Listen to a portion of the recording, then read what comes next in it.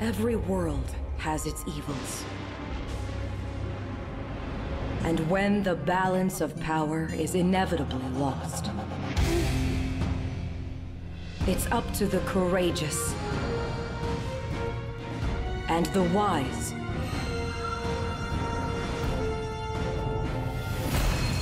to restore it. But sometimes,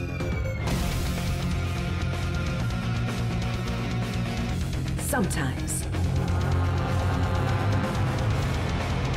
they need a little extra